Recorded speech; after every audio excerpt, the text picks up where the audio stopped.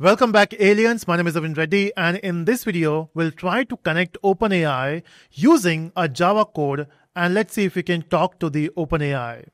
Now what we're trying to do here is we are trying to send a message to the AI and we are expecting a response from it.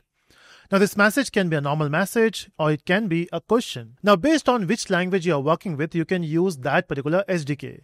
Now OpenAI provides you different SDKs or the official SDKs for different languages. And for that, you can just simply go to Google and search for OpenAI Java SDK. You will get to this page which talks about the libraries. Now there are multiple options here. If you can see uh, in the official SDK, we got option of uh, JavaScript, Python, .NET, Java, and Go. And you can see the code here. Straightforward, right? You can just get this Maven dependency and you can write this code. You can put your question here and you will get the answer. Okay, but then we'll be doing that in two steps. First, we are not going to use the SDK. Let's try to do that using HTTP request or the HTTP client provided by Java, and then we'll try to use this code. Okay, but before we even start with it, there are certain steps which I have to do. Uh, if you go up, or maybe in this code itself, you will see there is one particular thing which is uh, OpenAI client, and you can get this object with the help of OpenAI OK HTTP client dot from env. So what exactly you're trying to get from the env, and this is where you need the OpenAI API key. So basically, this is the key which you have to keep your environment and it will fetch from the environment. Okay. Now, the first thing you need is API key. And of course, if whenever you try to work with AI or any model, basically you have to pay for it, especially OpenAI. Uh, and if you want to use it, you have to add some credits, not huge amount of money, maybe $5 will be enough. Now, how do we do that? So go to openai.com and log in. Now, once you log in, get into, in fact, uh, let me just show you the steps. So you have to click on login. But when you click on login, make sure that you select API platform. ChatGPT, which we always use, but this time we'll go for API platform. And when you go there, of course, you have to log in, and I have already logged in here. If you can see, uh, you can use Google login as well. And once you're logged in, you can just go here and go to your profile. And inside your profile, this is where you have to create the API key. I already have done that here. Uh, you can see we got two keys here. And one of the key which we are going to use, I'm not sure which one I have copied it somewhere. Uh, but then before, and of course you can create the API key. Now this API key is going to use the models run by the OpenAI in their cloud servers. So of course they will charge you for that. And for that you have to make sure that you go to billings and add some credit here. I got 3.53 uh, dollars. Okay, so I have to recharge now. But make sure that when you add some amount here, uh, make sure that you have auto recharge is off. Otherwise, uh, if you do some experiments and then suddenly it is started putting a lot of questions or using a lot of tokens for the conversation, you will lose a lot of money. It will auto recharge, and then uh, that will be a scary part. So at least for the starter, go with auto recharge off and add some balance. Now, when you have that, once you have your the API key, it's very simple. You can just click on new secret key, uh, mention some name here, some text, and then uh, you can select the default project. And then you can select uh, permissions, click on create secret key. It will generate a key. Make sure that you copy it somewhere safe. And because once you close that window, you can't see your key. Again, you have to create a new one then. Not a big issue, but then keep it somewhere safe and make sure that you are keeping it safe. Okay, so now once you have a key, let's go back to this particular page and we can use this or we can use the HTTP client to do that. Now, I'll not be typing the entire code. Maybe I'll just try to copy paste the code just to make this fast. We are not here to learn Java, right? We are here to learn how do we integrate Java with OpenAI. Okay, now the first thing you have to do is open any IDE, whichever IDE you prefer, maybe Eclipse or IntelliJ IDEA. So create a project, and this should be a Maven project. I will say OpenAI Java JDK, and then uh, the build system. Make sure it is Maven because we are going to add a dependency there and then click on create. Now, once you do this, you will get this project. And at this point, I'm not going to add that dependency which we saw there. Uh, but then we, go, we are going to use HTTP client. I'll just remove all this code from here. And let's keep it basic. And let's remove all the extra comments from here. Okay, so what are the things we have we have to do here? The first thing you have to do is you have to use that key. Remember, uh, in fact, even here we have to specify the key, right? Now, where you will keep this key, it's very simple. Uh, for the main file, just go to current uh, current file, edit configuration, and in this you can just select. You can click on add, click on application, and then just name it something. I will say main. Nothing changes there. Uh, select the main class for which you're going to do this and the main class is this. We only got one class in the project. Then you will see an option of environment variables. Now this is where you can click on this particular icon here which is a file icon. And if you expand this this is where you have to add a new key. Now what should be the name of the key? Now for that let's go back to the page. And if you go up this is the name which we are looking for. So i'll just copy this and plus this is the name OpenAI API key and then the value. Now this is the value for your key. I have that in the other window so that you can't see. Pasted it here and that's my key. Click on OK. Now this will add the key there. Click on apply. You know, to be on safe side, I will just delete this key once we recorded the video. I'll click on OK. Now once you have added the key here, let's start working. So the first thing you want to do is you have to save that key somewhere. So I will say API key and you will get it from the environment. And to do that, I'll be saying system.get env and this is the name OpenAI API key. So this will get the key for you and saved in API key. I don't want to print it, otherwise you will see the key. Uh, I'll just stick to it. And you can try it on your own machine to print it. Then we need the HTTP client. Okay, so let's get the object of HTTP client with the help of this and make sure that it is coming from this particular package. So this will create a new client for you. So if you want to interact to a particular API, uh, this is what you can do with the help of HTTP client. Now, we are interested in the response, right? So I will just go to response here and let's say response is at this point is null. We'll try to get this response. And once you have the response, you are going to print that response. Okay, this is what we want to do. Uh, but again, response will give you the HTTP response. You need a body from it. So from this HTTP response, you are fetching the body.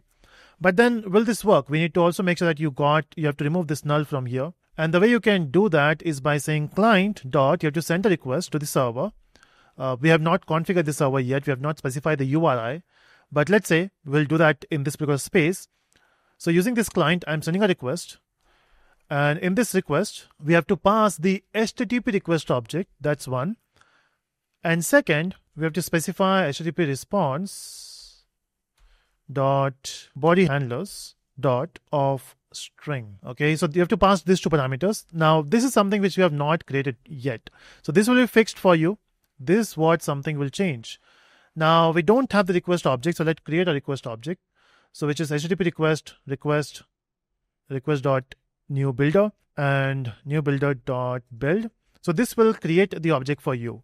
But then for this request HTTP request object, we have to pass certain things. Now, what are these things? Maybe you have to pass the URI, you have to pass the headers, where in which you are going to also pass the API key. Uh, we'll specify the content type, whatever content type you want from the server, and then we'll specify what type of request you are sending, get request or post request. So those are the things you have to mention here. So the first thing I want to do is I want to specify the URI, and we can get that from the URI dot. Let's import this first. URI dot. You will say create, and okay, so this is the URL which is suggesting. No, that's not the URL. So let me just get it from here.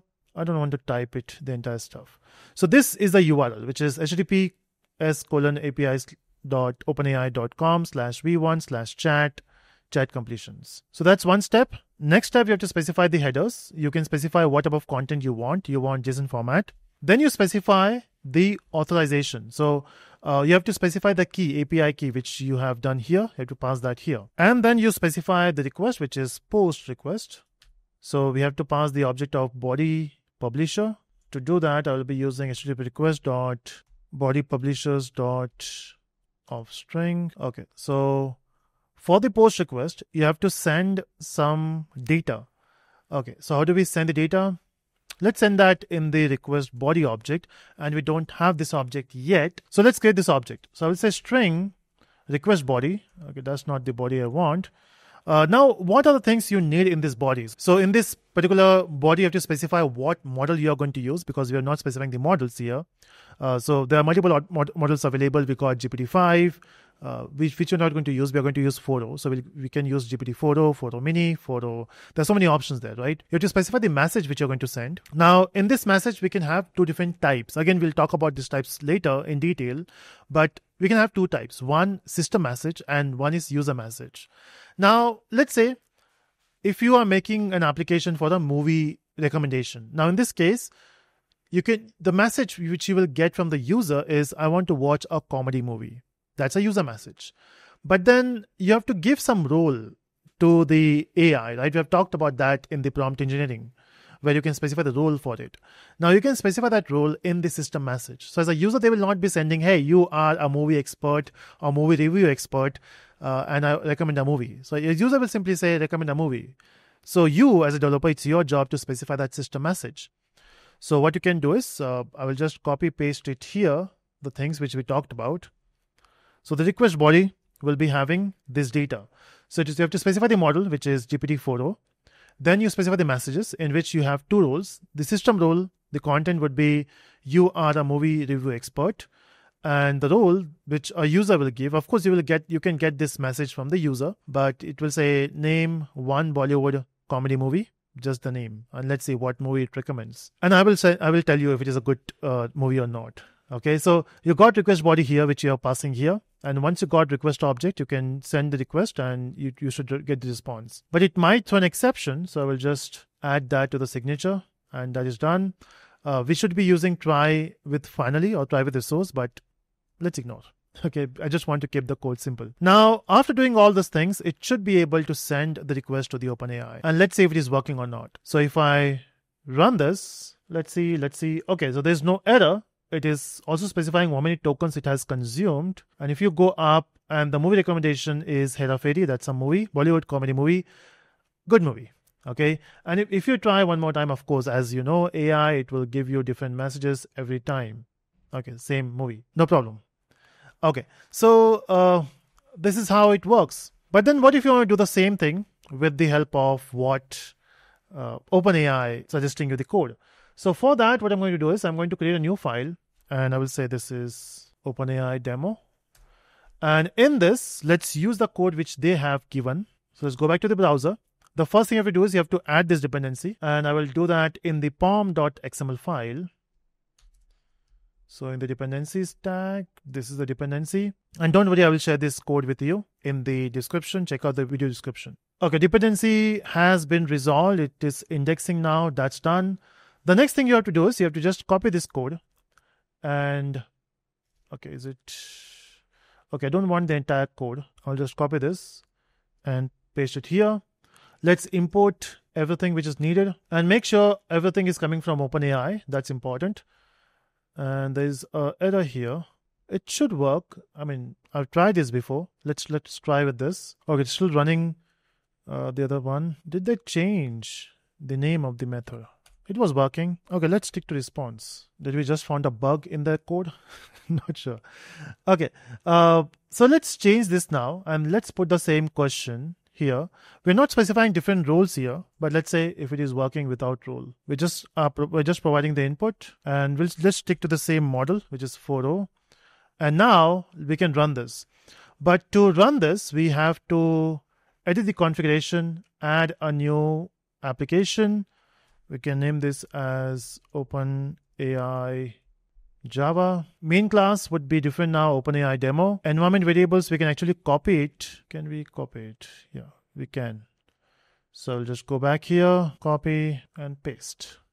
Done. Once you have done that, you can run this code now and let's see how it prints the data. So we got the response, which is this.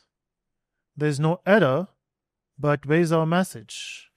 Again, we'll see later how do we get the exact text from this. But you can see we got the text as Three Idiots. Again, a good movie. So looks good. So this is how basically you can use OpenAI JDK library.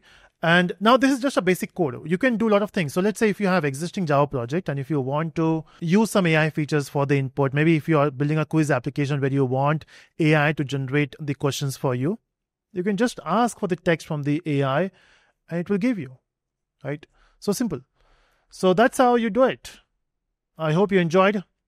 See you in the next part.